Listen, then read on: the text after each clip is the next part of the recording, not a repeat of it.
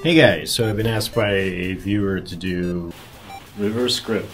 There's really a lot to this topic. I could talk about it for a very long time, but because of time constraints, I'm gonna try to keep this uh, be very basic. This is dependent on you having very solid fundamentals, so I would consider this uh, an intermediate throw. I suppose this could be your first throw, but uh, why?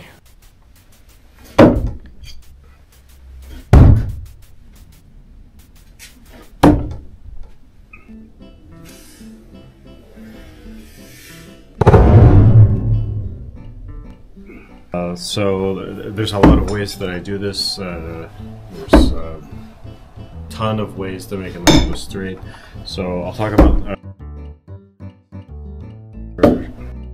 other than something kind of like this on this uh, x-axis zero degrees. Called this kind of like a reverse grip.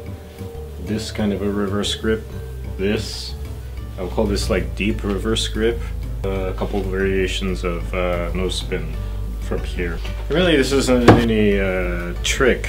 Uh, the knife doesn't really care if it's upside down. Your job is to create energy and to transmit it to the knife and to have that energy go in a line. One method of uh, getting into this could start by standing close to the target and releasing like this and then gradually moving it down. Uh, or you can just jump in and just understand how this works. If you throw a wave, this is uh, very easy. You can just throw it without uh, doing anything with your hand. Just let the knife fly out of your hand. Now start releasing like this. Find a way to make it work. And then so on and so forth. You could do that.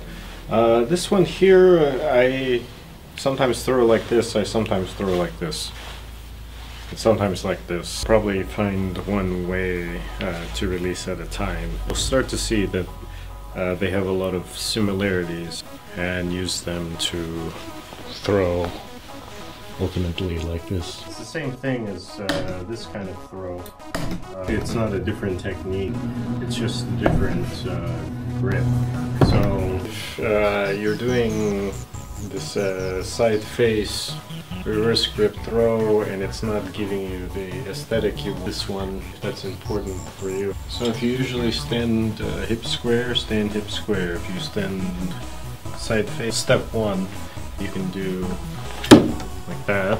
And step two releasing like this uh, relying on the index finger a little less. So you can try going like this and then you may have to play around with uh, angles. You know, you get you get to the point where releasing it here, and what you'll see in a lot of my videos is I release open hand. So I'm, I'm starting here, but I'm releasing like that.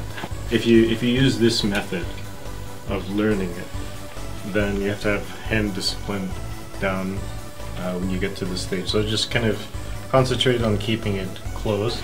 I opened it. There it goes. Kind of, kind of open still. A lot of variations for uh, reverse grip. You know, like I said, I'm not going to be uh, getting into these things. You like one of these more than another, uh, it's important to just kind of play around with it. Okay, so we'll do uh, the first one. Uh, these concepts you can play around with them and mix and match uh, as far as like hip axis. I have to come up with names uh, for things, otherwise I'll forget them. A bazooka, uh, because we have the knife in front, it ends in the front, uh, and the path is uh, kind of circular, so looks kind of like that. It's a little bit better. For, for this one I have my hips uh, square but also to the south. Uh, it's still sort of a, I call this a north-south, but it's really a y-axis. Looks like that.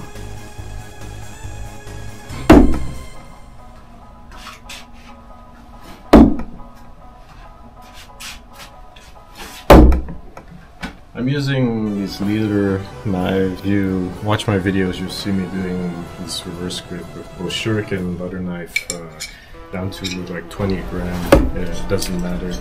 On the heavy side, uh, I think around 300 something is the most I've done, but uh, not because I'm against heavy knives, it's just uh, not what I have. So the release for for the bazooka, the knife uh, comes out like this, and it's a side release. I've opened up. So the next release, I call this a rudder grip, where because the motion is just on this axis, and we're not uh, adding a circular component, but it's just kind of a loose uh, grip, and just like that.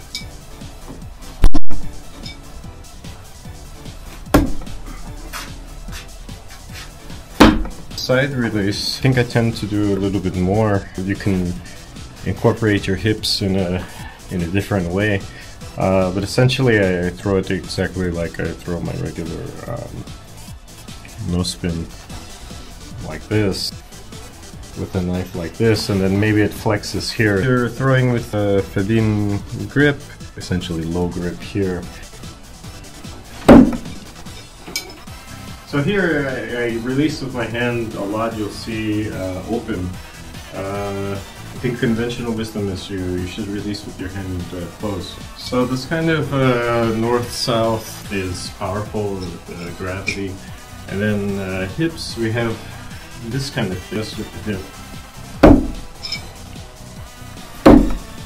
And, and hips, like if you know how to throw sideways without hips, then minimalist, like I like stuff like this.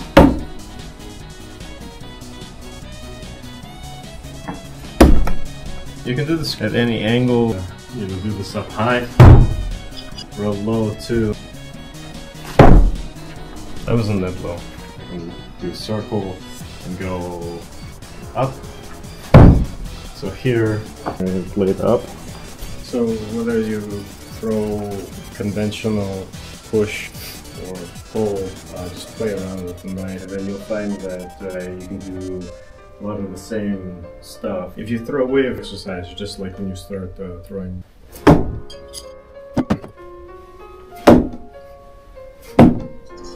get something like that.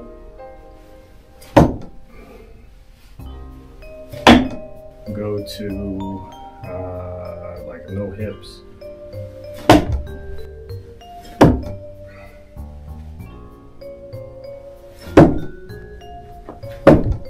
Whole world of possibilities uh, with the reverse grip.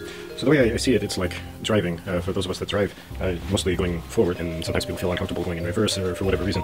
Uh, but the two things are uh, related to each other quite a bit. If you understand how to move a car in reverse, uh, you can do quite a lot of impressive things with it, like parallel park or whatever. So anyway, it's the same thing with the reverse grip. So there you guys have it. So really, just all I'm doing is I'm doing wave throw with teach martial arts, and then it's maybe a style, right?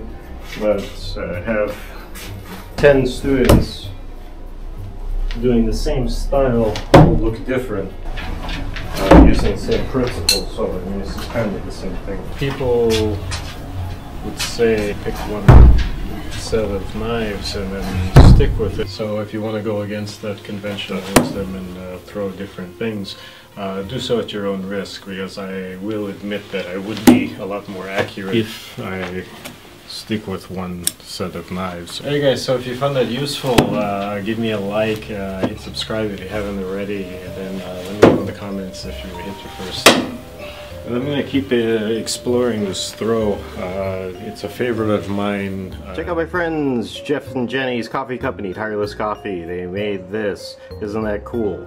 No spin. Bam! Check them out if you're into coffee.